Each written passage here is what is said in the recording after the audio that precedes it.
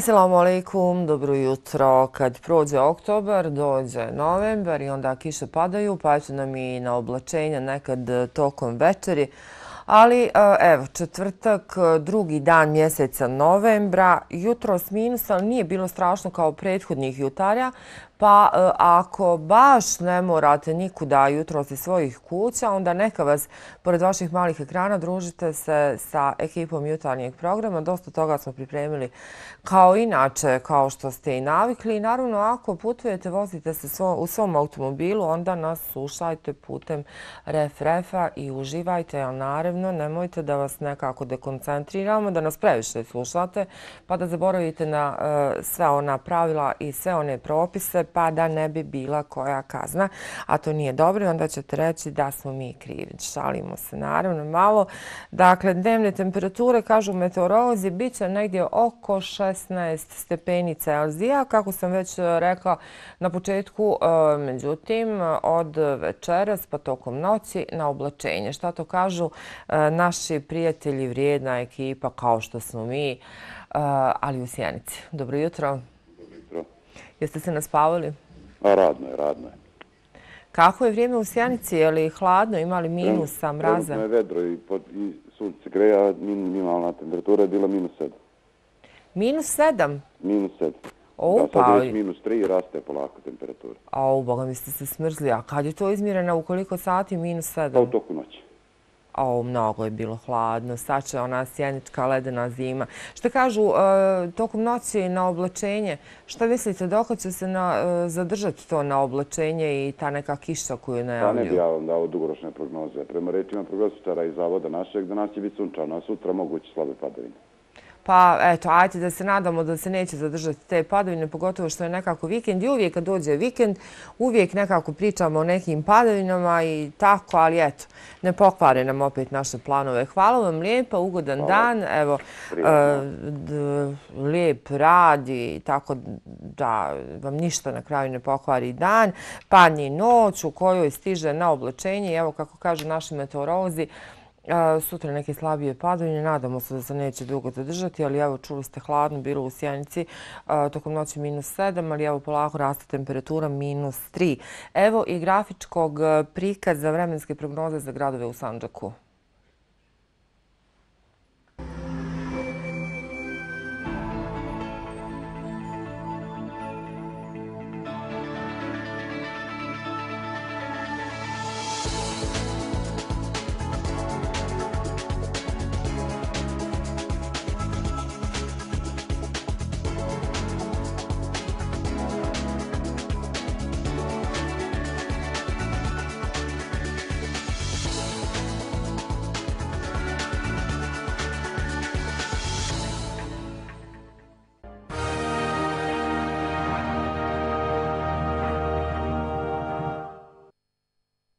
Život znači učenici gimnazije u Novom pazaru, ali i stariji građani, oni koji već imaju tu dobru naviku, jučer su darivali krv. U saradnji Instituta za transfuziju krvi Crvenog krsta i lokalne samouprave u Novom pazaru organizirana je još jedna akcija dobrovoljnog davanja krvi. Ovoga puta prva lokacija bila je Novopazarska gimnazija – Iz godine u godinu razbijaju se predrasude i strah, pogotovo kod mladih ljudi koji se tiče dobrovoljnog davanja krvi. Učenici u redovima čekali da učine još jedan human gest i možda nekome tako spase život. Pored učenika bilo je tu i stariji građana koji, poznati kao česti dobrovoljni davaoci, danas su htjeli uzeti učešće u ovoj akciji. Poruka učenika ujedno i poziv svima da je ovo human gest i da nije strašno. Pa mislim da treba da pomognemo uvek. Treba svi da dođu da Nije strašno, nije ništa. Razbijene su te predrasude i taj strah prema dobrovoljnom davanju krvi, pa e, evo koliko je to bitno, pogotovo kod omladinaca? Pa izuzetno je bitno. Ja bih rekla da je to sve jedno uz veliku angažovanost Crvenog krsta ili predsjednika lokalne samouprave da se i tekako radi na razbijanju upravo tih predrasuda koje ste spomenuli. Ono što je jako bitno to je kada se omladina prvi put odvaži da dođe na akciju dobrovoljnog davanja krvi, kada se uveri da sve protiče u jednoj prvo otpuštenoj atmosferi, da, da su vrlo redke te neke neželjene reakcije koje su u krajnim slučaju jako blage, ali se opredeljuju kasnim godinama da se javljaju i da budu redovni dobrovoljni dobrovoljni davaoci. To je u stvari od izuzetnog značaja. Znači da to prvo davanje prođe e, u redu jer mi odatle regrutujemo dobrovoljne davaoce više struke. Znači da se oni u određenom vremenskom periodu vraćaju nama i samim tim imamo kontinuirano snabdevanje krvlju bolnice. Pored gimnazije, akcija je planirana i u ostalim srednjim školama u gradu Novom Pazaru. Sutra na redu je ekonomska škola. Danas smo od 9 do 15 časova u prostorijama gimnazije, sutra smo pa u istom vremenskom periodu, znači od 9 do 15 u ekonomskoj školi, s tim da su tu obuhvatene sve vaše srednje škole. Naravno, poziv je i ne samo za srednje školce, već i za sve one građane koji su stariji od 18 godina koji žele da se priključe akciji. I eto za kraj, e, koliko je zapravo zdravo davati krv, odnosno e, čuli smo, odnosno imamo priliku često čitati da je e, da se u organizmu javljaju neke pozitivne pojave. Pa evo samo još da naši gledalci i sa te strane budu upućeni. Prvo i osnovno, a to je da dobrovoljno davanje krvi nije škodljivo to je osnovna stvar. E, uzima se ona količina krvi koja je apsolutno bezbedna za organizam e, samog davaoca, a opet dovoljna da primaoc ima velike benefite od toga. Ono što je isto jako bitno, to je da dobrovoljni davaoc krvi može biti samo i isključivo zdrava osoba, što znači da je to privilegija samo određene grupe ljudi. Nakon davanja krvi se javljaju efekti kao što su oni nakon dužeg boravka na nekim većim nadmorskim visinama. Znači, stimuliše se koštana srž da se obnavljaju ćelije e, krvi. Znači, u tom smislu je pozitivan efekt dobrovoljnog davanja krvi. Ali ono što je osnovno i dominantno to je da dobrovoljno davanje krvi nije štetno. Prosječna odrasla osoba ima 70 ml krvi na kilogram tjelesne težine i može dati 13. dio od ukupne količine. Primjer, osoba koja ima 70 kg i oko 5 do 5,5 litara krvi može dati do 450 ml krvi u dobrotvorne svrhe.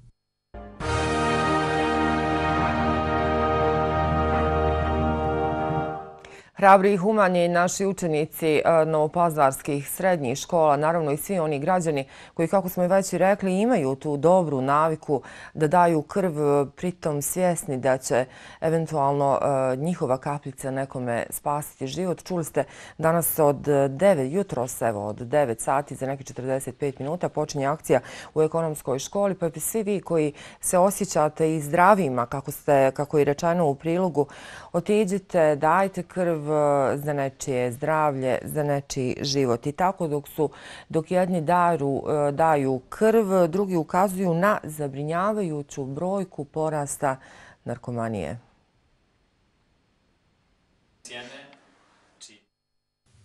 Povodom zabrinjavajućih statističkih podataka o broju lica zavisnih o opojnim drogama, Centar Duga i Kancelarija za mlade organizirali su panel diskusiju. Direktorica Centra Duga istakla da su ove panel diskusije od velikog značaja. Ali jedan poseban segment e, projekta jeste e, zapravo pokretanje ovakvih inicijativa za međuinstitucionalnu saradnju kako bismo problem mogli nekako podobnije da sagledamo, e, kako bismo harmonizovali aktivnosti i kako bismo stvorili uslove za iznalaženje nekih sistemskih rešenja. Aleksandar Žugić istakao da bi za rješavanje društvenog problema bilo neophodno uvezivanje više institucija. Važno je uvezati sve sisteme na lokalnom nivou. Znači, to je bila i poenta nekog ovog sastanka, pored onoga da predstavimo ono što mi radimo, a sa jedne strane da damo taj neki impuls dodatni lokalnoj samupravi i uopšte nevladnim organizacijama da formiraju nekakvo telo ili da razmišljaju uopšte o tome šta bi tu trebalo da se uradi. Jer generalno širom Srbije, odnosno unutrašnjosti Srbije, sve ono što je van Beograda, Novog Sada, eventualno Niša, nema puno nekih inicijativa i nema puno nekih sistema koji bi pružile podršku. Na panel diskusiji prisustvovao i direktor Kancelarije za borbu protiv droga. Kancelarija ima zaista veliku ulogu u tome i trudimo se da Srbiju dovedemo na standarde kada je borba protiv suprostavljanja drogama uopšte i posljedicama koje droge izazivaju na društvo celo, da budemo što veći standard da postignemo i to je to. Gradonačelnik Novog pazara istakao da se Novi pazar kao grad suočava sa velikim brojem zavisnih lica od droga. Pa sigurno je evidentno da Novi pazar kao većina gradova u Srbiji ima problem sa narkomanijom. Upravo cilj ovog sastanka je prevencija protiv narkomanije gdje je grad Novi pazar u saradnji sa e, kancelarijom za omledinu i mlade dugom i kancelarijom za mlade Novog pazara, organizovao upravo ovaj sastanak sa vladinim i nevladinim sektorom koje smo pozvali sve relevantne činjenice koje mogu doprinijeti prevenciji protiv droge. Diskusiji prisustvovali Udruženje psihologa, Udruženje prosvjetnih radnika, Forum za kreativno djelovanje, predstavnici hitne službe, biroa, kao i više nevladinih organizacija.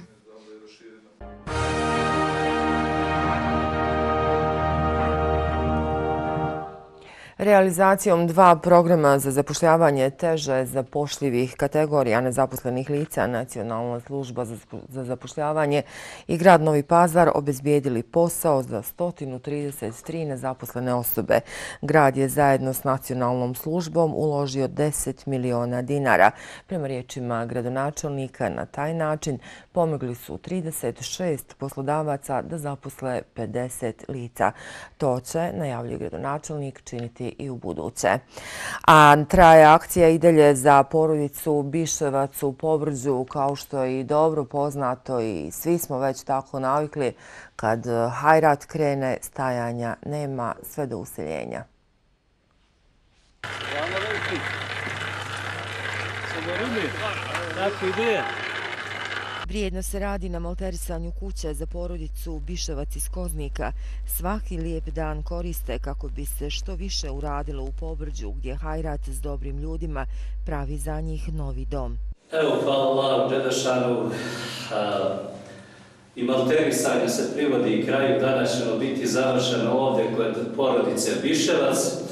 To i što znate da smo kuću započeli prije mjesec i po dva dana. Evo, hvala Bogu, danas završava se manterisanje, idu dalje radovi, kupatilo, kuhinja, pločice i ono ostalo. Već, evo, danas je hladno, prije neki dan i snijeg padao, naša žena je što prije da uselimo porodicu Bišerac kako bi usrećili onu dječicu koja svakodnevno pješače po neko kilometara, po nekoliko kilometara do škole i od škole često puta kada je veći mraz ili snijeg, djecu uopšte ne idu u školu, a evo da se zajednički potrudimo još malo i da završimo kovog da, da uselimo i ovu porodicu. Da i njima krene, da se više nikad ne vrate tamo gdje su prepušteni sami sebi, pogotovo djeca, a tek bolesna kćerka, i gdje su jedine komšije Medvjedica i Vukovi. Evo ja i moja grupa došli smo na program ovoga čoveka koji je stvarno u teškoj situaciji i lošoj živi i oni i njegova djeca. Od nas hvala za možda pomažu, što činimo i svim ljudima koji su trenili da, da se udomi ovdje i da se ova porodica skolji stvarno su u lošoj situaciji. Živo gore gdje Vukovi živo samo i oni. Samo da ih je dovesti među komšije, pored puta, škole, džamije. A kad su odlični učenici s pohvalnicama bili u nikakvim uvjetima za život, sad će, ako Bog da, kad dođu u pobrđe, biti još bolji na ponos svih. Pa se na manje, hajde, hajde, svako rano, Allah da vas nagradi svi ja.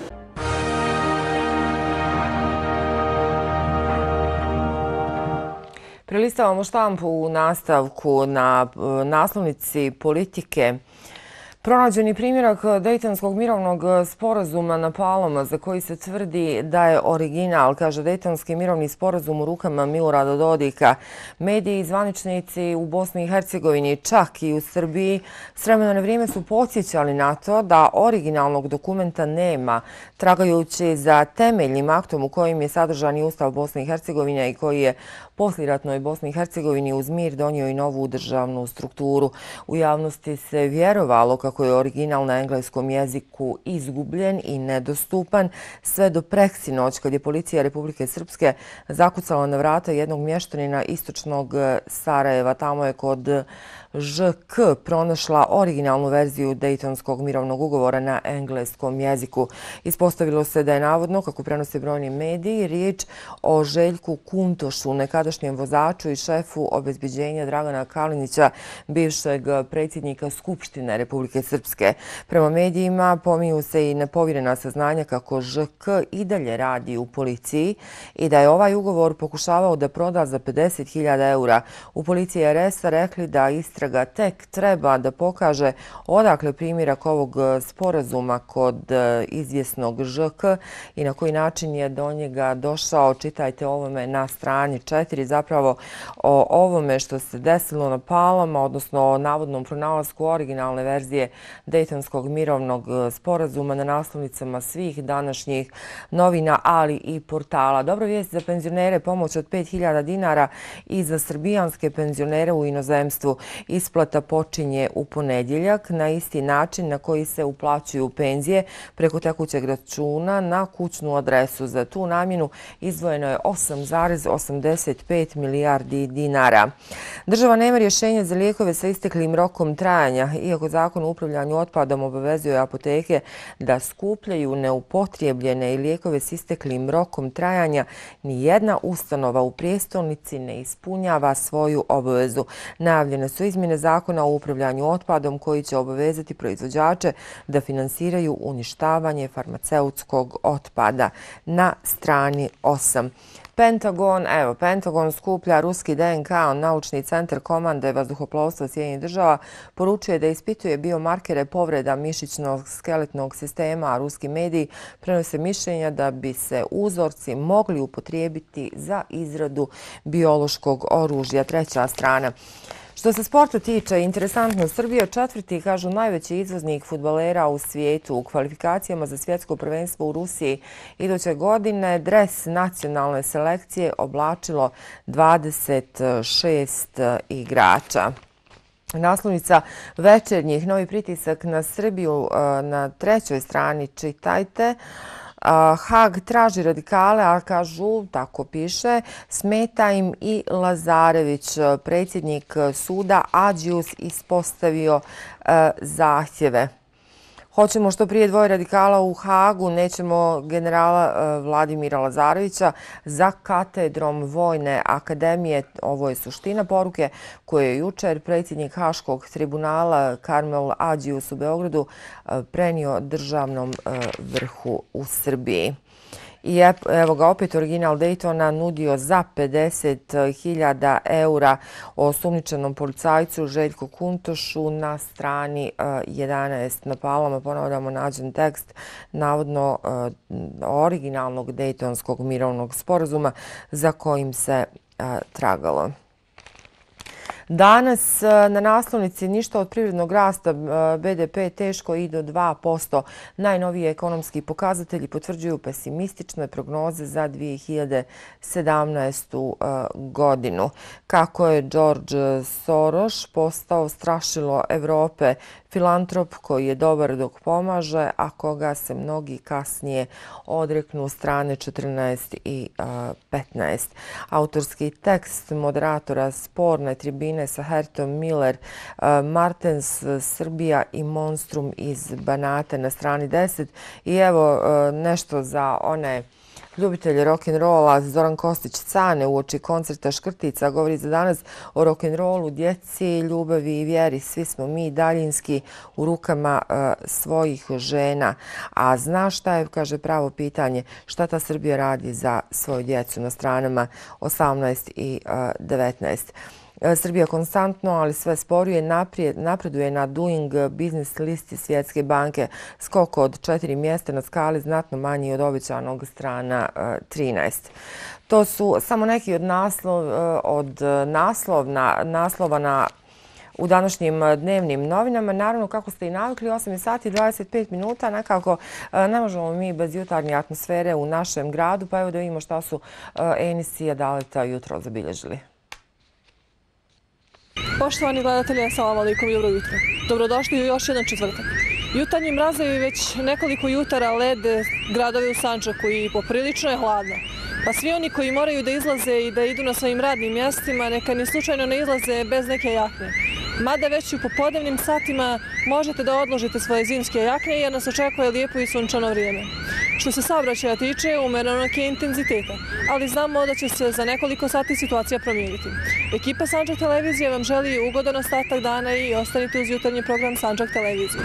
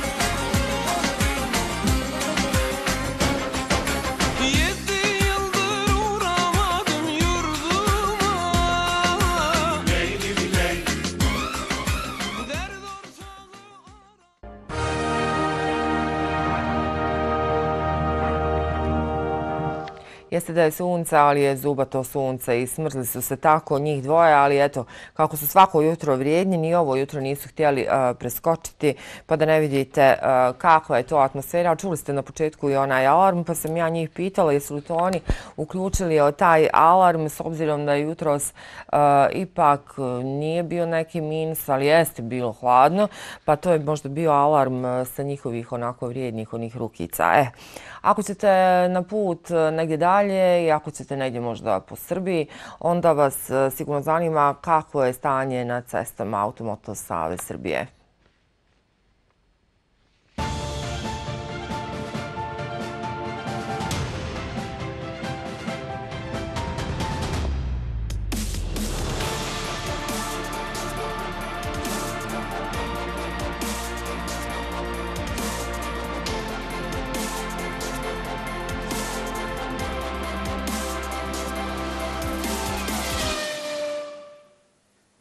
Pozdrav iz operativnog centra Automoto Saveza Srbije. Vozači danas očekuju pogodne vremenske prilike za vožnju sa nešto višim dnevnim temperaturama. Ono što je karakteristično za period u kojem se nalazimo su hladnija jutra, a i večeri, ponegde sa maglom i sumaglicom, što od vozača zahteva više opreznosti i dodatnu pažnju za volanom. Saobraćaj je ovog jutra umerenog intenziteta i odvija se bez većih gužvi zastoja na putevima prvog i drugog reda u našoj zemlji – dok se u toku dana manji zastoji mogu očekivati u zonama gde se izvode radovi.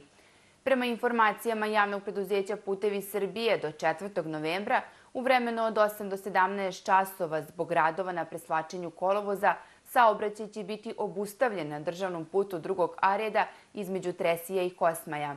Vozači putničkih vozila mogu da koriste alternativni put koji od Mladenovca, Kosmaja i Rogačice vodi ka Sopotu, dok je za teretna vozila preko 3,5 tone alternativni put Mladanovac-Vlaško polje Sopot.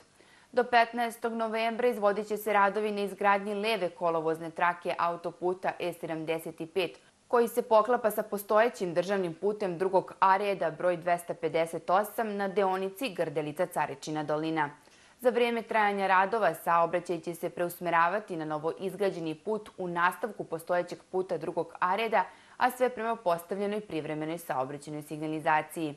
Produženi su radovi na rehabilitaciji dela državnog puta prvog B reda Kaći-Zrenjanin na deonici Žabaj-Zrenjanin.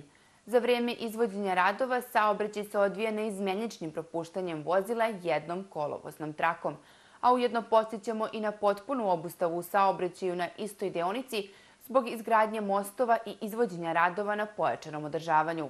U toku obustave alternativni putni pravac je državni put drugog areda Žabalj-Čuruk, Žabalj-Šajkaš i opštinski put kroz Žabalj.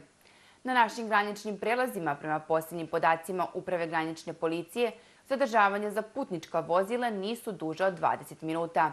A mi za kraj podsjećamo vozače da su po pravilniku o upotrebi zimske opreme dužni da imaju sva četiri zimska pneumatika, ako se zbog vremenskih uslova na kolovozu nalaze sneg, led ili poledica. A ukoliko vam zatreba pomoć na putu ili informacije iz oblasti saobraćaja, naš operativni centar i broj 1987 vam je uvek na raspolaganju. Automoto Savez Srbije svim vozačima želi srećan put.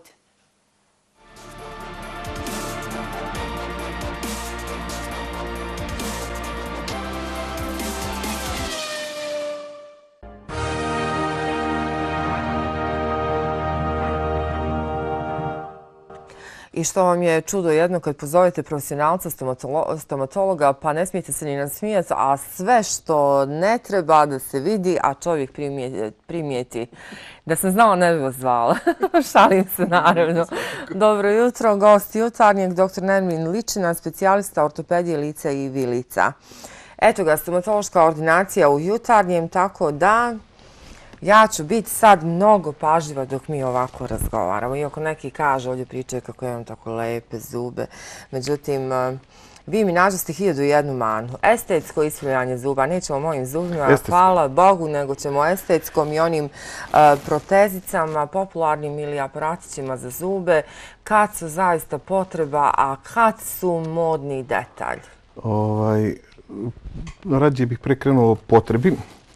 E, postoji mobilni i fiksni e, ortonski aparati, sve znači prema uzrastu. E, do nekih 12 godina kod devojčica, odnosno 13 kod dečaka, praktikuju se, praktikuju se mobilni ortonski aparati.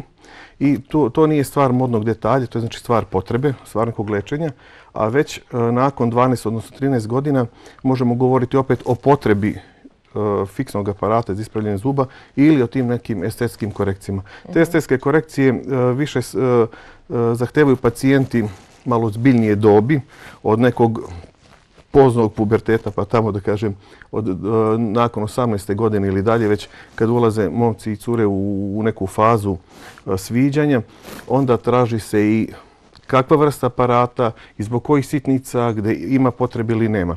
E sad, e, malo tu bude i stvar prestiža, jer to više nije stvar za svakodnevnicu i nije baš mhm. svakom dostupno, jer ti aparati nikad ni u državnim službama, osim u određenim e, slučajima gdje su urođene ovaj, neke anomalije, pa je onda neophodno da i država izađu susret. Inače, ti aparati nisu baš ni svakom finansijski pristupačni, nažalost. E sad, zašto onda, e, šta nam oni rade? Dakle, ako hoćemo ih, hoću da mi spomenete i zamolit ću vas zapravo e, za taj dio priče kao modni detalj. E, šta onda narušavamo ako već imamo skladne, lijepe zube? Zašto ih, šta hoćemo zapravo da napravimo? Ili recimo kad neko ugrađuje cirkone i to je jedan vid modnog detalja. Lepo ste rekli, samo vid modnog detalja, znači ništa specijalno. S tim što kod ovih aparata treba voditi računa da oni stvarno u tim e, slučajima kad se radi o čistoj e, o čistom modiranju da oni ne poremete stvari koje su inače skladne i normalne. E, treba ih napraviti da budu pasivni, što nije baš ni lako. I ti pacijenti jednostavno to nose određeno vreme, čisto rad mode, rad nekog njihovog fazona i ništa drugo. Znači tu o terapiji, o nečem ozbiljnom ne treba ne govoriti samo o modnom detalju. E, e sad, mnogi se pitaju e, koje je to životno doba kad možemo da stavimo aparatice na tu test? Je li postoje neka ograničenja? Postoje, malo pre sam spomenuo, devojčice pre 12 ne, odnosno dečaci nikad pre 13. Radi se u stvari o e, nekom periodu rasta razvoja zuba. Ja lično nikad ne radim fiksne aparate pre završetka rasta i razvoja korena što ne znači da ću se striktno držati 12 godina kod devojčica, 13 kod dečaka, već na osnovu snimaka, analize neki merenja, utvrdi se, vidi se kad je završen rast korena zuba i da se onda to može tako raditi. A šta ako recimo jedan zubić, jedna jedinica, malo prelazi na drugu i malo je duža, međutim još ima ovamo mliječnih zuba, je li treba možda sačekati? Postoje škole, postoje škole koje, ja bih pre rekao da su komercijalne škole, koje rade e, u periodu mešovite denticije. Jer u tom periodu ni ti zubi, odnosno te jedinice koje ste spomenuli, nisu potpuno, nemaju potpunosti završen rast uh, ovaj korena. Po meni to nije ispravno. Odnosno po školi koju sam ja završavao i koju uh, dan danas radim, to, to nije stvar koja bi se trebala raditi. Mm, a koja je ona najkasnija dakle, dob kad možemo još nešto da učinimo? U principu nekog poznog ograničenja nema. Ja lično radim veoma često i neku predprotetsku pripremu u ortodonci, ortodonsku tu pripremu, da pomeranje e, određenih zuba, jer ukoliko zubi nisu na željenom položaju, na odgovarajućem položaju, vi nikad sutra ne možete imati ni odgovarajući protetski rad. Mhm. Tako da e, i ove ozbiljne ordinacije praktikuju gde god je mogući ili potrebno da se odradi e, fiksni aparat, da se zubi dovedu na svoje mjesto, da se tek onda radi protetika. Što znači ja sam lično najkasnije imao pacijenta sa 60 i neku godinu u ortodonciji. To znači kad ima sve svoje zube? Ne mora da znači, ne. Može i gdje su zubi vađeni, gdje recimo nakon vađenja dolazi do E, razmeštanja zuba. Usled postojanja slobodnog prostora zubi počinju da da usled e, neadekvatne e, funkcije žvakanja traže svoj neki novi položaj i onda sve to treba vratiti tamo gdje mu je mesto, napraviti raspored da bi se mogla odgovarajuća protetika odraditi. Pa evo to je jedna fina informacija za naše 60-godišnjake. Dakle, ima još šanse za lijep osmijeh. Apsolutno, kako pa dobro, uz ovakve stručnjake ko što ste vi, onako kako vas, vi ste jednostavno skenirate odmah usta kompletna, kompletne zube i vi odmah vi vidite šta se može, šta se ne može, a kod vas izgleda sve može. E sad, postoje trebalo mitovi, bi. trebalo bi, postoje mitovi ovim aparatićima za zube. Šta zapravo oni mogu da učine? Neki kaže da će se zubi lakše zbog tih aparatića pokvariti jer se hrana duže zadržava. Da, koliko je to tačno? to jeste tačno. E, neminovno je da lepljenjem od e, bravica na, na e, spoljne površine zuba hrana se lakše zadržava i teže se čisti.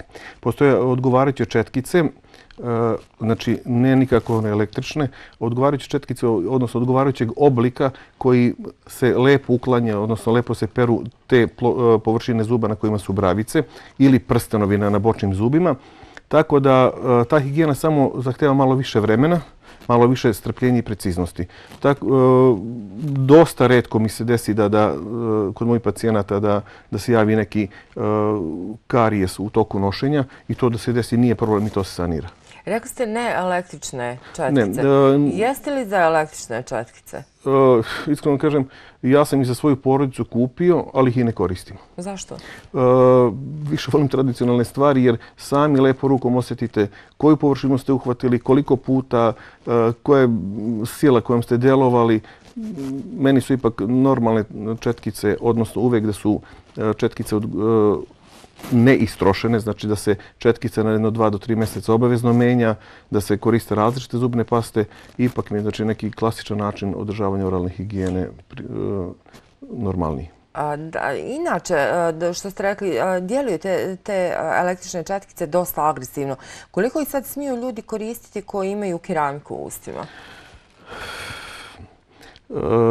Jer kad počnete čitava glava vam se ovako apsolutno, treska. Apsolutno, kao i sa svojim zubima se mogu koristiti e, ovaj, te, te četkice kod protetskih radova. S tim što protetika malo e, nosi sa sobom neke druge stvari u zavisnosti od toga kako sama ta krunica protetska naleže, je li adekvatna, nije, ima tu malo nekih e, naših sitnih detalja koji utiču na sve to. Inače, to samo e, krvarenje desni ne mora da znači da je uvek vezano za parodontopatiju. Naravno, kod protetskih neadekvatnih radova e, dolazi do tog krvarenja i nije u principu ništa strašno. Mhm. A inače, danas na tržištu toliko je u ponudi pasti za zube, da vi jednostavno više ne znate s kojim ćete biti ljepši. Kako da biramo pastu za zube? Malo pre sam spomenuo da se koriste različite paste. s tim što paste koje su na našem tržištu uvek tih aktivnih komponenti imaju ja mislim, bar upola manje nego paste koje dobijamo sa zapada. Neminovno je da su te paste na zapadu možda duplo ili troduplo skuplje nego kod nas, upravo samo zbog njihovog sastava, zbog tih aktivnih komponenti. Mada i kod nas su paste stvarno krajnje po meni dobre i korektne i treba uh, samo koristiti različite paste jer svaka pasta ima nešto, neku svoju uh, osobenost i nikad se ne treba striktno držati samo jedne vrste paste. A koliko su nam uh, zaista dobre, kao što je na reklami, na reklami je sve odlično, one za bijeljenje zuba, pa za sedam dana recimo od sivkaste neke imate prelijepo onako snježno bijelu Uh, o tome baš ne mogu činjenično da ovaj govorim, ali uh, za ta izbeljivanja zuba ipak je postoje ordinacijski način i metode izbeljivanja, a te kućne varijante i um, to beljenje zuba sa pastama nije baš dobro za, za samu gleđ. Jer nakon određenog vremena uh, zubi postaju malo osjetljiviji, uh, ljudi nemaju baš osjećaja uh, šta se dešava u ustima dok se ne javi problem.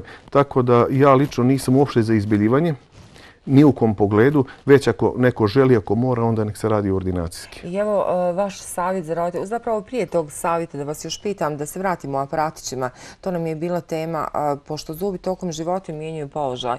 Hoće li se onda nekad u nekom poznijem životnom dobu e, ono što smo popravili i pokvariti, možda eventualno? E, ne mora da znači, jer nakon te terapije, nakon te terapije fiksnim ortonskim aparatima, potrebno je još određeno vreme nositi koristiti mobilne e, aparate, odnosno takozvane retinere, koji e, rezultate koje smo postigli moraju da drže na e, odgovarajućoj poziciji.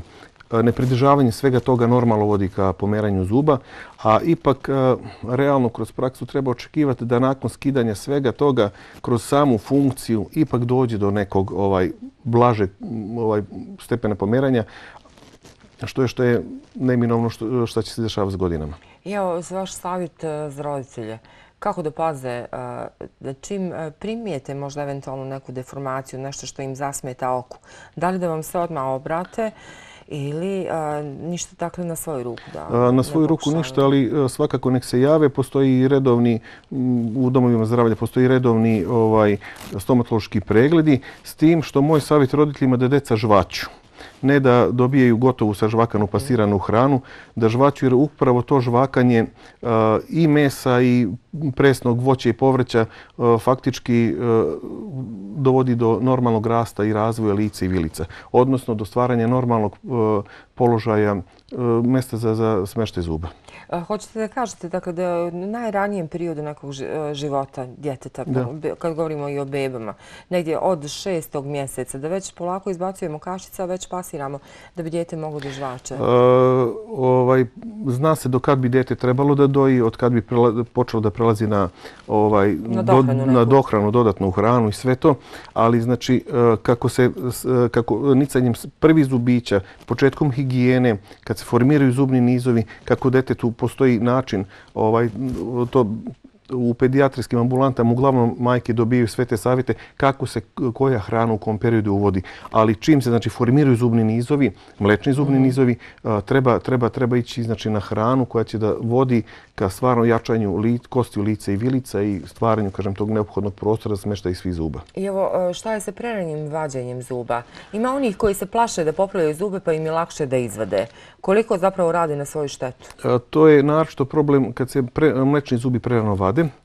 Eh, ja se lično trudim čak i neki eh, loši korenovi eh, da ostanu u ustima što duže, jer ne mogu da tek tako lako oni izazovu neku promjenu na njihovom zamjeniku, upravo samo da bi sačuvali mesto da ne dolazi do nicanja zuba. Recimo, konkretno, šestica zna se niče u šestoj godini, kad se mlečna petica izvadi, ona se neminovno smesti na mesto petice. Veliki je posao, dosta se teško ta šestica vraća na svoje mesto i već tu imamo izuzetno, izuzetno velike probleme. Hvala vam lijepo, doktore Lične, za sve ove savjete. Smijem li se ne smijete? Što da ne? Hvala vam, pa nadam se da se vidimo u još e, nekoj od naših emisija sa novim vašim savjetima i naravno sa novom temom. Pa možemo, neka nam ovo bude i stomatološka ordinacija u sklopu jutarnjeg svaki savjet stomatologa u današnje vrijeme kad nam se mnogo toga nudi, mada svi bismo mi e, voljeli da imamo nešto najljepše u ustima i da imamo najljepše osmijehe, mada je to sve tako skupo.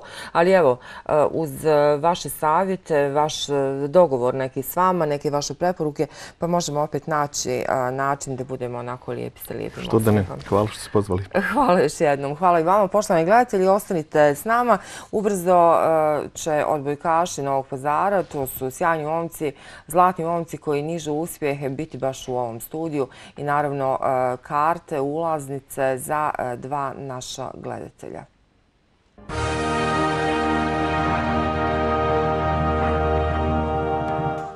9 sati, Zlatni momci, ja sam već rekla, e, u e, studiju Sanđak televizije u jutarnjem programu. Još jedan u nizu uspjeha odbojkaša Novog pazara. Plasirali se u četvrt finale Kupa Srbije, pobjedivši u gostima Klek Srbija Šume s 3-2 s nama. Igrači Benjamin Daca. Dobro jutro, dobrodošli. Dobro jutro. I Jeliš Zuković, dobrodošli. Bolje vas našli. Došli juče ujutro e, kući i evo umjesto da malo još odmarate, a u 10 sati imate trening, ipak ste našli vremena da budete naši gosti. Hvala vam zbog toga. Hvala vama na pozivu. Je li vam naporno? Jeste umorni? Pa jesmo. Mogu li ovaj, sportisti biti umorni? Naravno.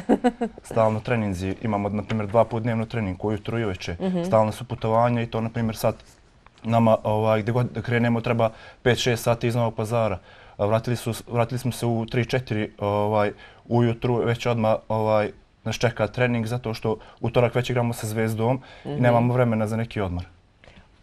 U sljedeći utorak? Jeste, sad ovaj utorak sedmog. A kakav je, e, evo, Klak Srbija šume, kakav je bio protivnik? A, pa, očekivano nezgodan protivnik jer ipak to je mjesto dakle, potiču braće Grabići i to je mm -hmm. mjesto gdje se jedino igra uh, odbojka. Oni uh, jesu trenutno u nižem rangu uh, od nas, ali mala sala, Eh, oni sigurno malo motivisani jer ipak u gostima je došao osvojač kupa prošle godine. Eh, znali smo da će biti problema, ne baš ovoliko problema, ali ipak put je učinio svoje. Ipak na kraju nekako izvukli smo to šampionskim duhom i, i iskustvom i eto nas u četiri finalu sad. Znate što mi se sviđa kod vas i prošli put kad su gostovali, eh, kad je gostovao vaš trener i jedan od igrača, nekako imate taj pobjednički duh i to vam se nešto vidi na facama.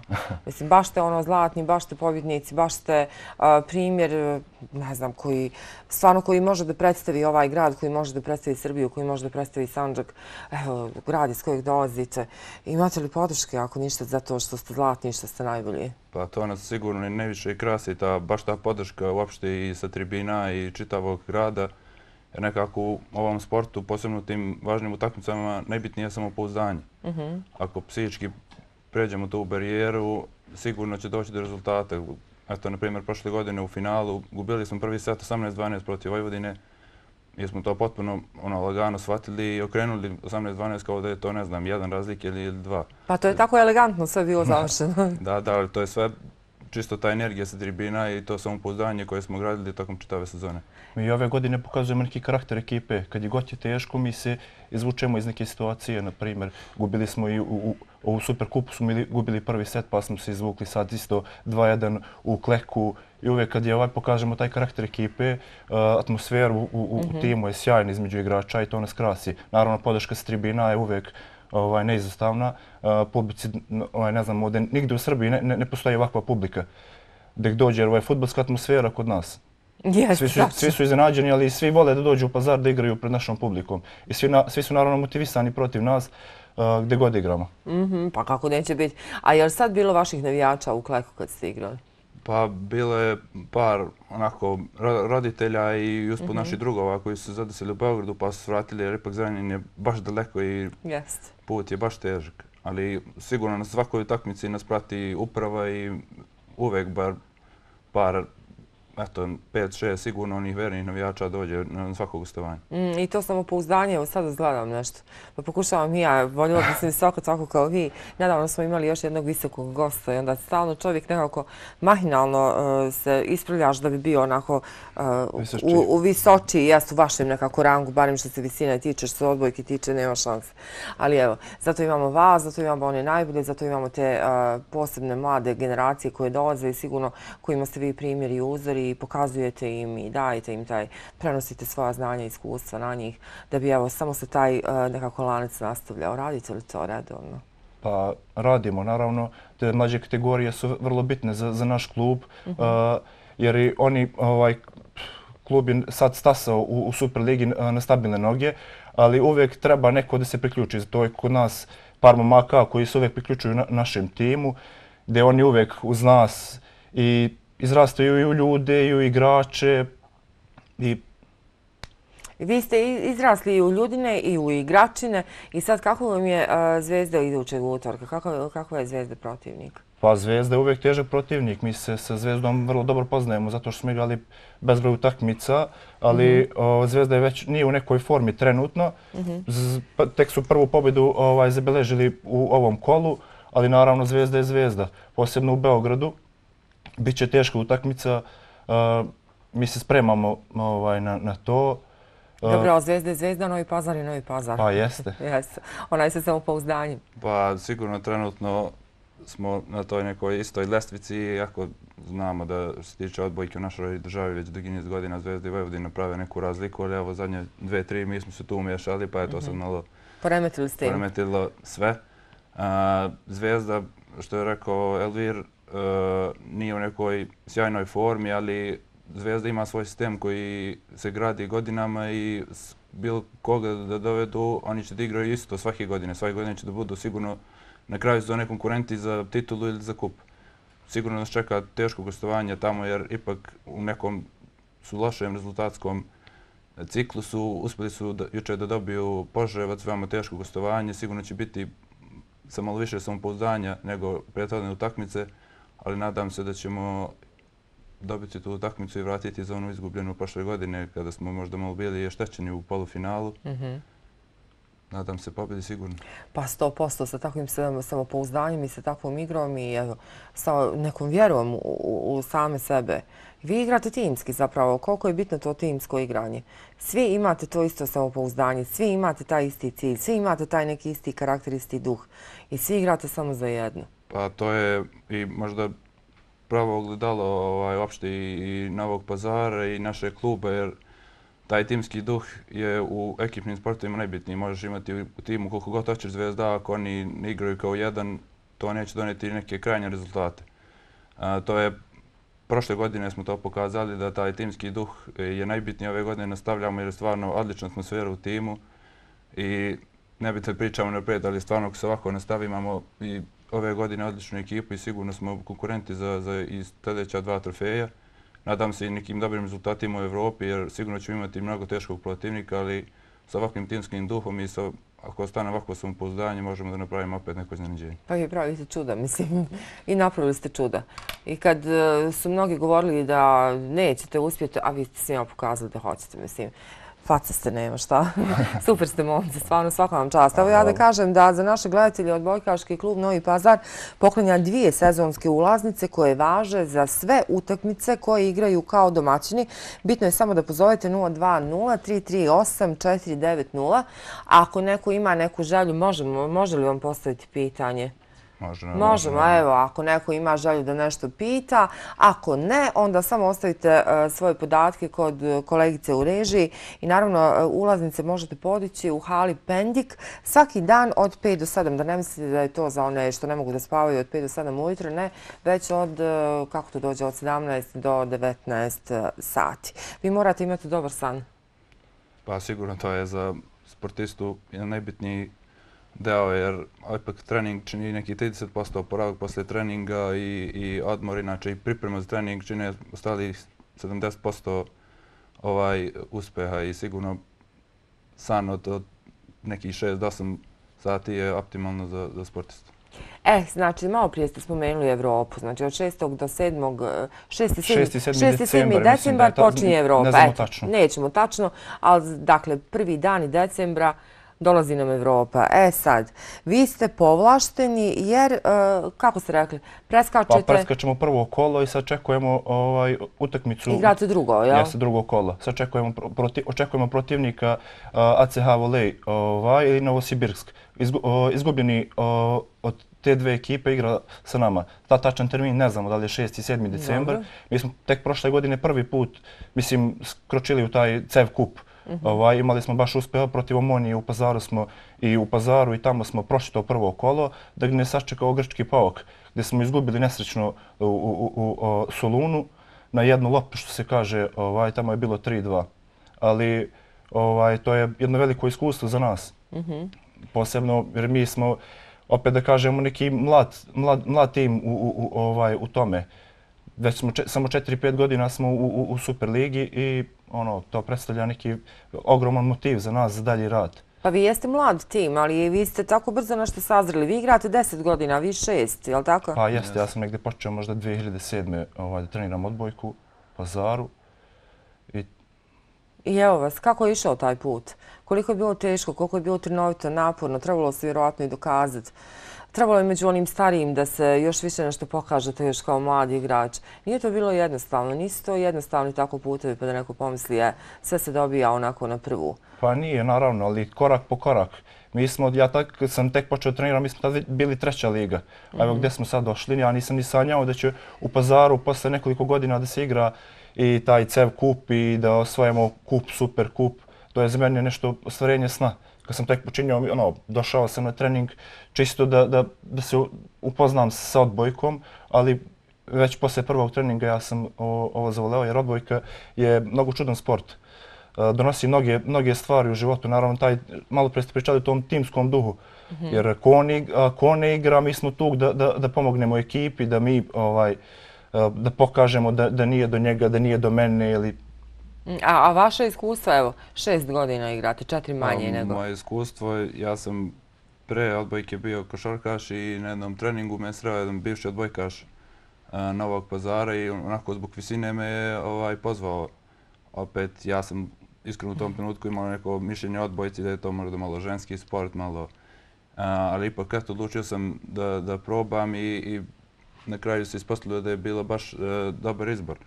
A, što se tiče ti šest godina, pa sigurno da je, da je bilo teško, ipak ekipa je tada bila i u trećoj ligi, kretala se sa nekim ambicijama da se uđe u prvu, pa verovite sigurno da tad nismo ni ono, na televiziji, ovo što sad mi pravimo, to smo samo gledali na televiziji, nismo ni sanjali da ćemo doći do, na, na taj nivo, ali eto, za, za neki uspjeh su baš potrebne malo duže vreme. Kako da ne. I sad vjerovatno uh, uživate u tome. I u toj pomisli nekad kako je bilo gledat uh, neke druge ljude i, i ne pomisliti da bi evo sutra vi mogli biti na tom mjestu. I onda evo vas. Pa, na velika vrat. Posebno u Novom pazaru. U Novom pazaru uh, bolje uživati u, u uspehu i što ja kažem, vrednije dan posle utakmice kad kreneš od kuće do, do čaršije pa te sretne deset ljudi i, i čestitati nego ne znam šta drugo na, na svijetu da ti ljudi daju već u trenucima kad smo osvojili kupi, to je narednih deset dana, jednostavno nismo mogli da prođemo gradom. Ipak to je ona neka neveća satisfakcija koju, ja mislim, pazarac može da doživi financiji i to, to je sad u skroz nekom drugom planu. Kako? Sad stavljate sve sa strane, jel? Sad je samo bitna pobjeda. Pa, jeste. Dobro, to dolazi poslije sa, i sa pobjedama mm -hmm. i nagrade i sve ali trenutno je sad samo bitno da, da što uđemo u bolji ritam, ovaj, jer je težak period pred nama. Sad u narednih 10 nedelja imamo 18 utakmica. I više moramo da zaboravimo na neke druge stvari, samo da se, da se okrenemo tome. Mm -hmm. Mm -hmm. Da napravimo što bolji rezultat u tim utakmicama, jer uh, baš je težak ovaj period pred nama. E, naravno, za najbolje uvijek idu i najbolje ponude. Je li bilo neki ponuda? Pa još je rano da, da, da se priča o tome jer uh, u odbojkaškom svijetu se to dešava na, na kraju sezone, odnosno tamo kreće neki maj, jun kada uh -huh. se već završe sve sezone i u ostalim uh, državama onda kreću pregovori sa menadžerima, sa klubovima, sa o tome trenutno ne razmišljamo, razmišljamo samo o onome što nas čeka, to su ova tri takmičenja i da stvorimo što bolji rezultat. Elvire? Pa naravno, trenutno samo razmišljamo sad. Ja trenutno ambicija nemam nekih za inostranstvo, može bude, nikad se ne zna, ali trenutno ovdje živim svoj san koji sam ono, od malih nogu i, i, i sanjao i vidit ćemo, možda na kraju sezone i bude nešto. Mm, e, bravo onda, momci, kad živite u svom gradu e, svoj san. Hvala vam lijepa i ja se nadam da se vidimo nakon utakmice e, sa Zvezdom ponovo u ovom studiju i naravno Želim da pobjedite kao i što svi e, normalni ljudi žele da pobjedite, da njihov klub bude najbolji.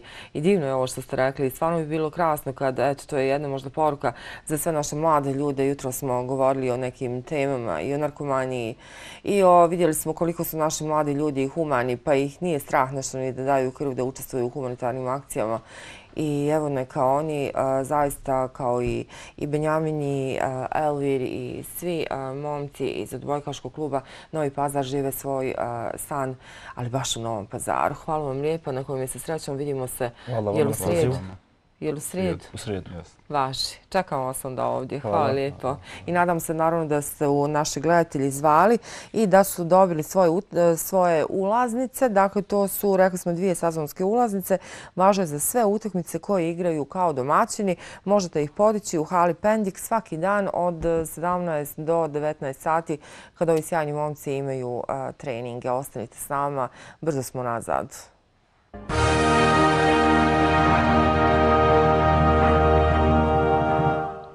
Gošća jutarnjeg naša draga Mina Mavrić, master vaspitač, asistent na Departmanu za pedagoško-psihološke nauke Internacionalnog univerziteta u Novom pazaru. Dobro jutro Mina, dobrodošli. Dobro jutro, hvala. Hvala na gostoprinstvu. Jeste li se naspavali? Pa jes. Je vam hladno bilo jutro? Jeste.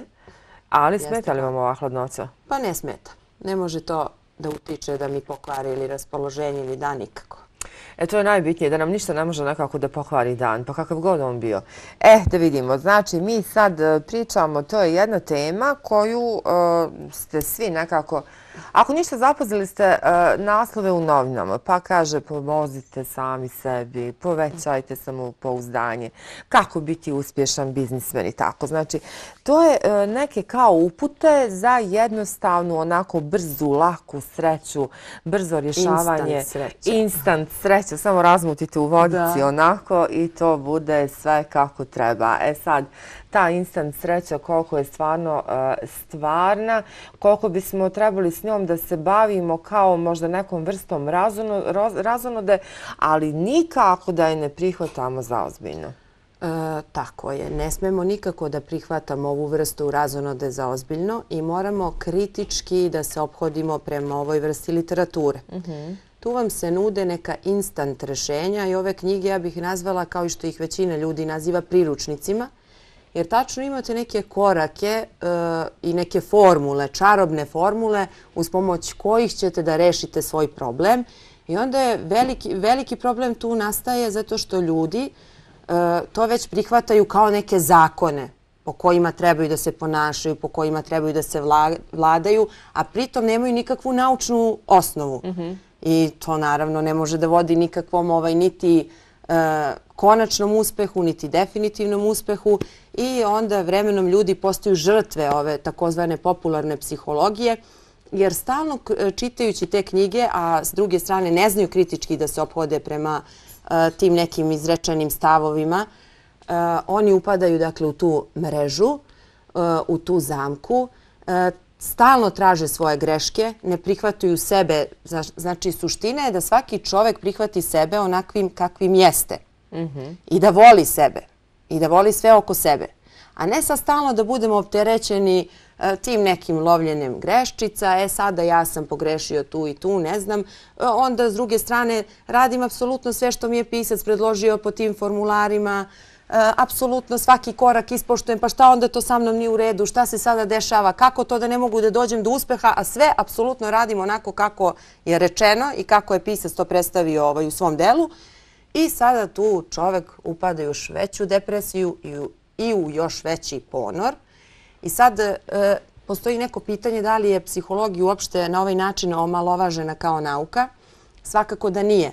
Ona se tu tek u tom momentu dolazi do isticaja, jer tada kada ljudi već e, uđu u taj neki mm -hmm. još dublji ponor i ne mogu sami sada se izvuku iz te neke situacije, onda naravno kod koga će pokucati na vrata, pokusat će kod stručnog lica za i Ako se odluče, mada e, i to Tako je jedan je, od najtežih koraka, da, a Tačno. hoće li se odlučiti. Međutim, a, zašto nam je lakše da se e, suočimo sa pitanjima pod A, B, C, D ponuđenim pa i zaokružujemo, pa onda tražimo ovamo neke odgovore, pa tu tražimo sebe. Zašto nam je to lakše nego da sjednemo malo pa porazgovaramo sami sa sobom? U čemu je problem? U čemu je problem? Pa tako, verovatno zato što ljudi traže, vide neku u tim instant rešenjima, Mhm. vide sad neku, neko uže spasa koje je veoma labavo i onda ovaj, ne kreću da razgovaraju sami sa sobom, verovatno zato što pomisle, ej, neću da razgovaram sam sa sobom, da ne bi možda neko sa strane gledajući me pomislio da sa mnom nešto nije u redu. A čuvani psiholog Carl Gustav Jung je rekao dovedite mi normalnog čoveka, ja ću vam ga izlečiti.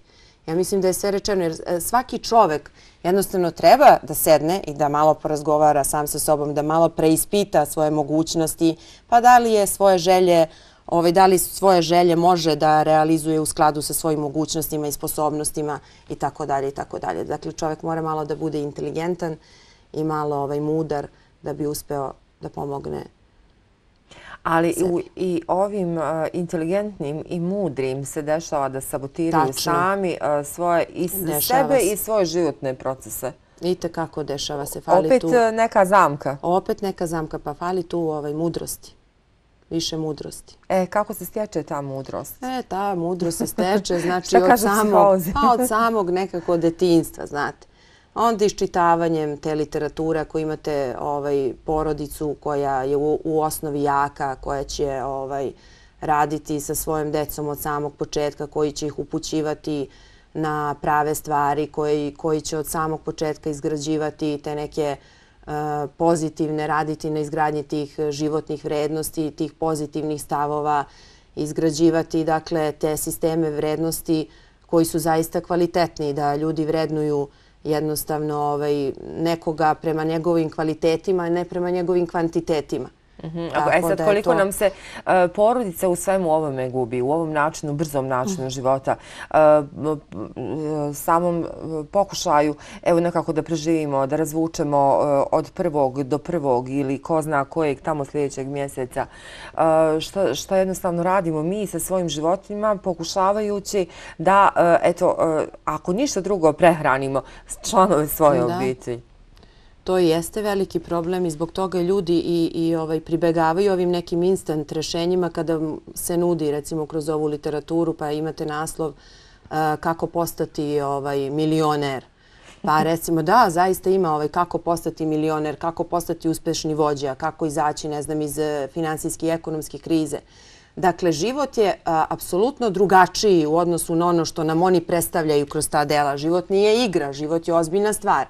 I dakle, mi svi moramo da se e, nekako nosimo sa tim i da nađemo neki e, način kako ćemo najbezbolnije da i prevaziđemo krizu, a da u svemu tome ostanemo normalni, da ostanemo i dobri i dosledni roditelji i da ostanemo dobri supružnici i da ostanemo dobri profesionalci dakle, u svom poslu. A to je opet e, ovaj, nekako stvar svakog pojedinca i, i opet kažem da je mudrost u tome da svaki čovek treba da prihvati sebe onako, onakvim kakvim jeste i da treba objektivno da gleda ovaj, na, na, i bilo da su to neke ovaj, e, neka dešavanja u društvu, bilo da su to neki prirodni procesi. Dakle, čovek treba da se, e, da se nekako fokusira na to da uvek bude objektivan. Mhm. E, koliko je teško biti objektivan? Pa sad zavisi kako kome. to je opet individualna stvar i stvar svakog pojedinca. A jeste teško. Zaista jeste teško jer ova vremena u kojima mi sada živimo, evo recimo dovoljno vam je samo da pročitate novine ili da odgledate ovaj neki dnevnik ili ne morate čak ni to. Možete da izađete na ulicu i da vidite da neki čovek recimo tamo pretura po onim kontejnerima za smeće i traži recimo ili hranu i garderobu i čovek prosto ne može da ostane imun na takve stvari. On se vremenom navikne na to, ali naviknuti se na nešto nije isto kao i ne, nema isto značenje kao i prevazići. Sad pitanje je koliko mi to možemo da prevaziđemo. I onda ljudi u tim situacijama i pribegavaju, ono stalno postavljaju pitanje, oni krenu, krenu od tog nekog humanog cilja da pomognu sebi, da otkriju sebe a u stvari upadaju u zamku te ovaj, popularne psihologije i, i nekako čini mi se idu još neki veći ponor. Kako postati milioner? Kako postati milioner? Mislim, znate kako, u svakom slučaju ne postoji savršen obrazac i formula e, za ovaj... ali su zato ali, auto ali, i takođe i taj, ali su oni postali milioneri. Bravo. Ali znate šta, šta je isto tu? Dakle, to ne postoji savršena formula i recept za bilo koji od, za bilo koje pitanje. Mm -hmm. Znači, u traženju njegovog odgovora ne postoji savršena formula i recept. I dakle, i to nije preduslov za sreću. Svi ti ljudi koji imaju milione, postavlja se pitanje koliko su oni zaista srećni. I koliko njima ti milioni uopšte znači. E, a to opet otvara neka druga da, pitanja. Da, i, i tako sve u tako krug. sve to u neki krug. I onda opet dođemo do te neke moderne psihologije. Da. I opet, a vidite kako je to čudno. Opet se a, i mi vraćamo na iste one naslove o kojima smo malo prije malo govorili. Malo govorili, tačno. Sve nešto ide u krug. I onda na kraju i mi tražimo, pokucamo zapravo jako od vas, a vi vjerovatno kod nekog od vaše kolege, ako nastavimo ovako da se vrtimo u krug. E sad, mi na malo smo se našli, naravno, da. nećete zamiriti. Ne. Dakle, rekli smo o tom vrtoglavom brzinom e, postaju milioneri upravo izdavači. Jer vidimo, e, danas, nažalost, došli smo nekako u situaciju i žao mi je što, evo, e, ću ja nažalost, iskoristiti e, evo ovaj jutarnji program pa da kažem da jesmo mi pozivali e, čelne ljude biblioteke ovdje e, da sitaju Obradović u Novom pazaru, međutim nisu baš nešto bili raspoloženi da budu naši gosti, a tema je bila svakako i tekako bitna. Kako vratiti djecu među knjige? Eh, zašto neko neće o tome da govori, zašto neko nije raspoložen za gostovanje, ne znam. Možda se neko i predomisli, možda je to samo neki bio loš dan, ali eto vidjet ćemo šta će da bude. Dakle, došli smo u nekako uh, eh, mina u situaciju eh, da je plafon svih plafona, što je neko pročita, pročitao, možda Lesi se vraća kući. I sad nam se pojavljuje odjednom ova moderna psihologija sa svojim knjigama koje se čitaju u jednom dahu. To je neko prepoznao i sad smo došli do odgovora kako postati milioner. Da se naravno ne uvrijedi niko od ovih e, pisaca te literature, jer što da ne svako ima svoju publiku, pa evo i moderna psihologija ima svoju. Šta vi kažete sad e, kad e, odlučujemo se za ovakvo štivo? Pa je nam to možda i dobro u nekim trenucima? Možda nije sve baš za neku osudu. Dajte da čitamo, pa neka čitamo bilo šta, samo da čitamo. Znate kako, ovaj, sad ako govorimo onim ljudima koji su samo pročitali Lesi se vraća kući, pa uh, polazimo od te konstatacije da su pročitali samo jednu da se Lesi vratio kući. Da. I ovaj, polazimo dakle, od te konstatacije da su pročitali samo jednu knjigu. Ja bi sada u ovom trenutku citirala ovaj, jednog našeg poznatog e, pesnika i pisca e, koji kaže nisu opasne sve knjige. Opasna je samo jedna. Čitanje većeg broja knjiga vodi do mudrosti, a čitanje samo jedne knjige vodi do mržnje i do tako tih nekih negativnih stvari. Ljudi koji su pročitali samo jednu knjigu u životu misle da su mnogo pametni, da su iznad ostalih i tako dalje. E sada, a ako uzmemo u obzir da su počeli da čitaju ovaj, ovu literaturu ljudi koji su pročitali samo, recimo, Lesi se vraća kući, onda se oni naravno neće kritički obhoditi prema toj literaturi i prihvatat će sve ono što im se servira zdravo za gotovo. Mhm. Onda će da počnu dakle, da upražnjavaju sve te neke formulare i obrazce za sreću. S druge strane neće imati nikakvih rezultata i onda će opet dovoditi sebe u to pitanje šta sam nam nije u redu. S druge strane, ljudi koji opet nešto imaju nekog predznanja, traže, jednostavno, ja sam uzela da čitam ovu literaturu e, sa krajnje, ovaj, dakle, kad sam počela da je čitam, ja nisam zauzimala neki stav. Ali tokom iščitavanja raznih ti nekih dela, ja sam ovaj, i tekako zauzela kritički stav prema svemu tome I naravno da sam u tom nekom smislu, jeste, može uvek, u svakom tom može čovek da izvuče, u svakom delu, svako delo šalje neku pouku i poruku. E sad sve zavisi ko je primao s te poruke i na mhm, koji način se mhm. shvata. E sad, u tom čitavom ambijentu rastu naša djeca. Kako ih zaštititi? Malo prije ste e, dali u jednom trenutku odgovor na to pitanje, ali evo nekako da se posebno njima posvetimo. Kako pomoći da razviju samopouzdanje i kako e, da se kroz život nadograđuju. A imavši u vidu opet ovu situaciju, brzina života, ipak pa na neki način i otuđeno porodice u jednom trenutku, ne namjerno, već zato što nametnuto, zato što život tako nalože i okolnosti. Pa ovako, konkretno kada govorimo o deci i uopšte o razvoju tog samopouzdanja, e, početak razvoja samopouzdanja počinje negde oko treće godine detetovog života, kada on počne da stiče ovaj, sliku o sebi i kada sebe počne da doživljava kao ja. Tada kreće sa tim razvojem dakle, i radu, radom na samopouzdanju. A e, naj, znači, period u kome se on nekako najviše može razvijati kod dece jeste period između 5. i 12. godine e, kada se javljaju odgovornost i strajnost kao e, dva bitna elementa i faktora za razvoj samopoštovanja u ovom slučaju dakle, kod dece. I ono nije nepromenljivo, ono se dakle tokom života može ili dakle samopouzdanje tokom života može ili još više ovaj ili se još više razvijati ili zbog nekih ovaj društvenih i životnog životno životnih okolnosti može biti u padu. E sada kako ćemo to postići kod dece? Pa evo od početka e, moramo im na prvom mjestu pružati bezuslovnu ljubav i sigurnost onda moramo decu pustiti da samo odlučuju o nekim stvarima, recimo koje su naravno primjerene tom uzrastu o kome se radi. I dakle, mi povedemo dete, evo konkretan primjer, povešćemo dete ovaj, negde u neki, u neki, da kažem, ajde shopping, kako ovi popularni to vole da nazivaju, dakle povedemo detu u shopping i onda odaberemo nekih pet stvari, pošto detu u tom periodu ne zna šta je kvalitet, odnos kvaliteta i cene, ne zna da, da prosudi, ali mi te kako znamo. I dakle, mi ćemo da odredimo tako tih nekih krpica, stvarčica koje, su, koje zadovoljavaju naše standarde i kvalitete i cene. I onda lepo kažemo, izvoli, izaberi sam, odluči. I čak ako vam se ovaj, učini da je dete izabralo i neki najružniji komad koji vi recimo ne biste, vi ćete detetu naravno da priuštite to što je samo odabralo. A nikako dakle, da mu vi namećete? Ne, ne, ne, ne smije da se nameće. Ili ono kad roditelj kaže, ej sine, pa šta bi ti voleo? I sad dete kaže, recimo, ne znam, nija, šta ti misliš, šta bi ti želeo da budeš kad porasteš? I recimo, dete kaže, ja bih želeo da bude doktor.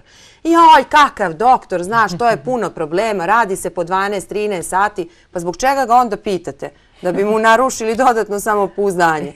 Ako je rekao, želim da budem, pa super, sine, onda radi na tome, nek ti je srećan i otvoren put u, u svemu tome. Onda, e, koju grešku još pravimo ovaj, kod dece, jeste što u tom periodu između 5. i 12. godine normalno je i sasvim je normalno da deca ulaze u konflikte sa drugom decom. To mogu da budu različiti neki konflikti. E sad, roditelji tu stupaju, ovaj, staju u zaštitu svom detetu, ono, pokušavaju da reše konflikt sa drugim detetom i kaže šta ti mom sinu, kako ti možeš mog sina, moj sinje.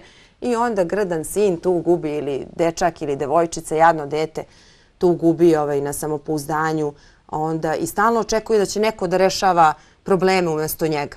I to se kasnije ponavljaju u životu, kada to dete više ne bude dete, već kad bude bio odrastao mhm, čovek, mhm. on će čekati nekako mama ili otac izleti iz nekog ćoška i da pokuša da mu ovaj, reši te neke probleme. Pa dragi moji roditelji, to se ne radi tako. Dakle, moramo, ne smemo deci da, da činimo neke medveđe usluge, ne smemo da obavljamo neke poslove umjesto njih. Naravno, nećete vi sad dati detetu da kreči to je, mislim, nemoguće, nije ni recipročno njegovim ovaj, niti fizičkoj konstituciji, niti, znači, nema tu snagu.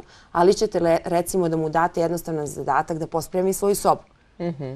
I dakle, na taj način on stiče i navike. I kako god da je pospremi, neka bude pohvala. Tako je, uvek. I, i, I pohvale su, dakle, jako bitne. Nikako kritike. Dakle, kritike totalno ovaj, omalovažavaju dete, E, dete gubi znači taj osjećaj, dobije taj kompleks niže vrednosti. Dakle, uvek trebaju da uslede pohvale, ali sad ne, da vi hvalite sad dete, no ej, kako si mi ti dobar, ej, on mi je zlatan. Nego kada dete, moje dete najbolje. Da, moje dete najbolje. Nego kada uradi neku konkretnu stvar, recimo desi se tog dana pospremilo, eto, kad smo već pričali o pospremanju sobe, pa bravo sine, vidiš kako si ti to lepo uradio. Kako ti, znači, pohvalimo ga za tu konkretnu neku stvar A ne pričamo sad u globalu, ti si mnogo dobar. Već dobar si, super si, pospremio si svoju sobu, svaka čast, pomogao si mi, veliko ti hvala.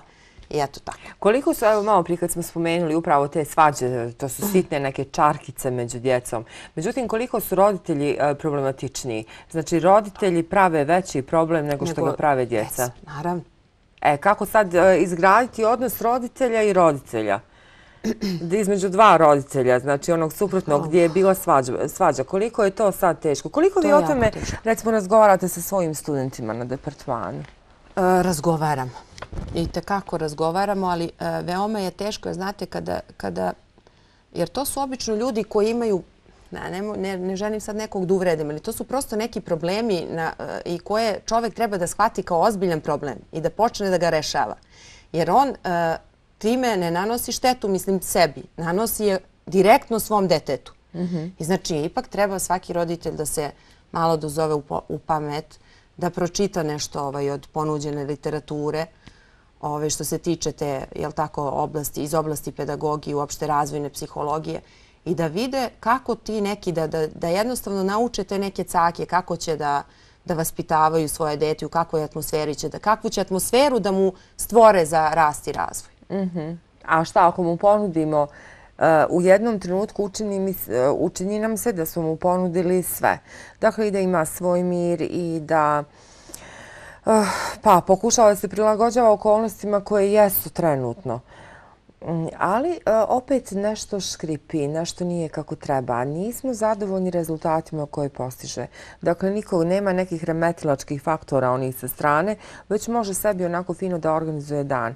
Međutim, je li to sad dijete, jer je dijete dijete, jer dijete nije odrastao čovjek, ili možda opet mi negdje griješimo. Bez obzira što smatramo da smo napravili neki ambijent u kojem može lijepo da funkcionira i da sebi organizuje vrijeme. Znate kako, u principu ovaj, na razvoj, na, na, psiho, na psihički razvoj, na emocionalni razvoj, osim što utiču, utiče porodica koja je inače, da naglasim, glavna znači, u, u razvoju i ličnosti i, i svega ostalog. Dakle, tu se traže neki, ovaj, jel tako, tu su temelji, tu se postavljaju temelji. Također ima i na, na razvoj uopšte psihički i uopšte taj emocionalni, društveni, kako god u svakom pogledu, ima utice i sredine i neki sredinski faktori. Ali vi u suštini kada dete upućujete od samog početka, kada ste mu maksimalno posvećeni, e, kada mu obezbedite neka sredstva za rad i stvorite mu neke prijatne uslove, Pa ja ne znam da tu baš može da dođe do neke velike, znači neke kardinalne greške, a da to ne može da se koriguje. Dakle, mhm. moramo non stop da pratimo. To je suština. Non stop moramo da, da pustimo decu, da im damo neku slobodu, ali sloboda nije isto što i raspuštenost. Dakle, pružiti im slobodu da samo razvija, da samo e, raste, da samo saznaje neke stvari iz e, prirodnog i društvenog ovaj, okruženja. Ali mi smo tu koji moramo stalno da ga usmeravamo i da ga pratimo na tom razvojnom putu. Dakle, ne može to dete bez nas. Za tu raspuštenost koju ste spomenuli, opet su krivi roditelji, mi smo pa krivi. Pa jesu, zato što ne umeju, pa ne umeju da postave granice. Jer mešaju ta dva termina, znači sloboda, raspuštenost, to se često menja. E šta je dakle, sloboda, šta je raspuštenost? Pa sloboda je, dakle, pružiti detetu e, neke mogućnosti da samo izabere recimo načine i metode na koje hoće da se razvija. Znači on pokazuje neka određena interesovanja. Sve što je do nas mi ćemo da pružimo da on zadovolji ta svoje interesovanja i te neke svoje potrebe. Ali pazite, raspuštenost je sad e, kada vi detetu e, pružite ono sve. Kao pružite mu, ne znam, kupite mu dobar telefon, dobre patike i onda mu se na kraju još i razderete i kažete ma šta hoćeš, ja sam ti sve dao, što više hoćeš od mene, šta ti kao više tražiš. Mhm. I, nema, I šta dobijamo? Dakle, morate da postavite jasno granice. A ne može onda dobije sve. A šta mi onda znači, dobijamo? Mi dobijemo jedan dobar produkt. Dakle, naše ja, dete i to će da nam se vrati. A ne, a... a za ovu raspuštenost. Dakle, a za, a da, za raspuštenost, sve, da, naravno. Nabavili smo sve i šta naravno, sad hoćeš? A o tome, to ja sam mislila šta dobijemo ako lepo usmerimo Feedback. dete. Feedback je naravno šamar. Tako je. I on nikada neće biti zadovoljan, nikada neće znati da ceni ono što ima uvek će da traži ove krivce u drugima, uvek će da traži još, uvek će da bude halapljiv, uvek će, jer nema granica. Dakle, nije, e, roditelj misle ja sam njemu sve pružio, idem crnčim, radim od jutra do mraka, ja mu kupio iPhone osmicu, ja mu dao Nike patik, ja mu kupio najbolji ranac, šta hoće više to dete od mene uši da mi pojede. Mhm, mhm. Dakle, ljudi, detetu ne treba ta vrsta, na taj način ga znači kvarimo. Dakle, ne treba mu ta vrsta nege i pažnje od e, te neke vrste njege i pažnje pa do danas, evo nas, sklonih i toj modernoj psihologiji o kojoj smo pričali, treba ta granica. Samo evo za kraj, kako postići tu granicu? Kako nekako sami uh, u sebi da napravimo jednu granicu? Koliko je to teško i koliko to nimao nije lak e, posao, već naprotiv i kako mukotrpan. Možda e, biste vi i meni mogli da lakše dati savjet, a ja vas poslušat, ali da ja sebi dam savjet, prije ću ga vam dati. A lakše... Ovako, pa znate kako, što se tiče, e, znači, prvenstveno, svaki čovek treba da teži ka tome da prihvati sebe onakvim kakvim on zaista jeste ne samo sebe, već e, sve ljude iz svog neposrednog okruženja da prihvati onakve kakve, kakvi zaista jesu. Dakle, da objektivno gledamo na situaciju, recimo u kući finansijsku, da objektivno sagledamo znači, kako se ponaša, znači da obratimo pažnju na te neke međuljudske odnose. Dakle, tu ima mnogo faktora kada su te granice u pitanju. Dakle, tu ima faktor, e, jedan recimo od faktore vi možete da budete jako dobri i humani prema drugim ljudima, ali oni recimo to zloupotrebljavaju i vraćaju na neki drugi način. Vi u tom smislu sad postavljate granice, pravite neki kineski zid i onda će lepo on fino pup biti sa one strane zida. A pored vas će ostati mhm. samo ljudi koji zaista zaslužuju da budu tu, da budu mhm. prisutni u vašem životu. Tako da, eto, ja sam navela taj neki primjer što se tiče tih postavljanja tih nekih društvenih granica jednostavno čovek samo treba da prihvati ovaj, sebe i svet oko sebe onakvim kakvim zaista jesu, da život nije bajka, da devojčice ne trebaju da očekuju princa na belom konju, da ne postavljaju sad neke, ovaj, ne znam, ja tražim recimo, moja želja da se ja udam za, eh, recimo, evo u tim knjigama, opet se vraćam na knjigu kako odabrati savršenog partnera.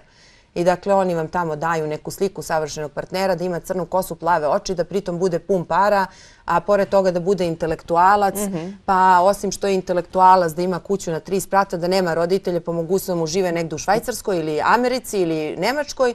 I onda naravno ovaj, devojčica tako živi u tim nekim iluzijama, traži takvog princa. I onda kad se zaljubi princu Cicu i kad se zaljubi princa cice u princa, onda ustane sa rosom u oku i da pusti stoku i tako dalje. Ovaj, tako da jednostavno ljudi nemojte da živite u iluziji. Živite u današnjem trenutku, živite ovaj, u stvarnosti, realnosti i gledajte da vi budete srećni i da, nekom, da nekog učinite srećni. I to je to ono, profesorce, e, poravnite? Poravnite da poravnimo u životu, jeste. Tačno. Prihvatimo to tako kako jeste, to bi bilo idealno. E sad, sad smo otvorili jednu novu temu. Novu temu, tako. I tako ćemo dalje da nastavimo. U nedogled. U nedogled, ali o tome ćemo naravno neki drugi put. Hvala vam lijepo za sve. Evo, malo smo... E, bilo je simpatično, mada i kroz ovo što smo, e, kroz ove stihove koje smo sad e, nekako naveli, pa smo se tu i malo nasmijali, to je zapravo neka naša surova realnost. Jeste. I posle toga dolazimo i do onih najbolnijih i razvoda, tražeći princeve, Tačno prinčeve i tražeći ko zna šta i kuće i tako dalje, zapravo koliko je najbitniji e, mir da ljudi mogu da funkcioniraju jedni s drugim i e, kad se nekako nađu te neke srodne duše, pa gdje god i u poslu i u životu i u privatnom i kako god da uzmete i pogledate, e, mnogo je lakše, mnogo jednostavnije i funkcionalnije za sve. I ljudi uvek trebaju da polaze od sebe. Mhm. Dakle, uvek trebaju da se potrude sa sređivanjem svog dvorišta. Jer u tim trenucima kada se oni bave higijenom tuđeg dvorišta, mhm. i te kako u znatnoj meri naruše higijenu sobstvenog, tako da tu posle nastaje i haos.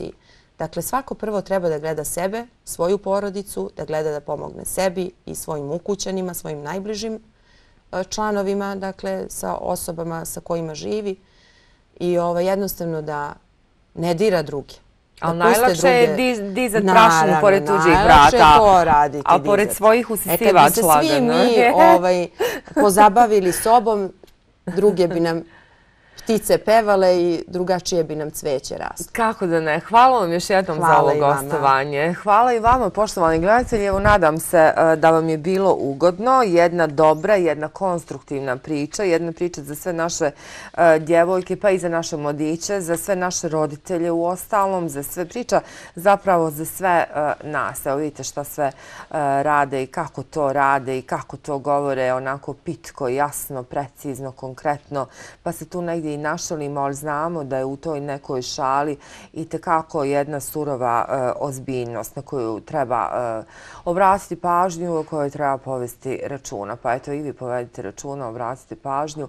Mi smo tu svako i da vam pomognemo i da vam koliko god je moguće uljepšamo i olakšamo i život i jutro i šta sve god e, poželite i da vas obradujemo kako smo vas jutro sa eh, vjerujem obradovali sa ovim kartama od Bojkaškog eh, kluba.